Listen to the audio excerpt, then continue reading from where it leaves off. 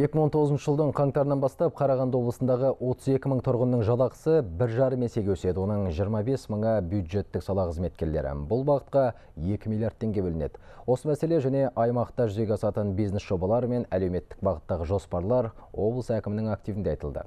Жиын барысында қоғам белсенділері елбасының халыққа жолдауын кеңінен талқылады. Өңірдегі тілшіміз тарқатып айтады.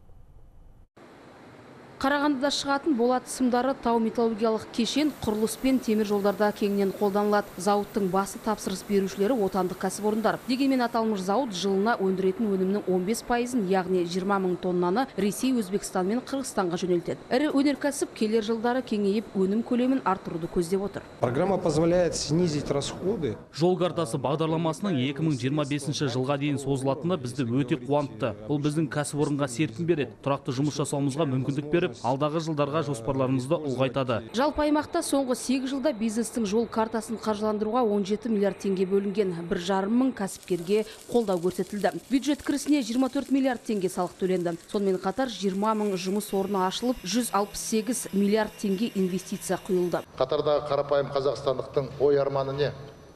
Тұрмысым жақсарып, тапқан табысым арта берсе деп ойлайды.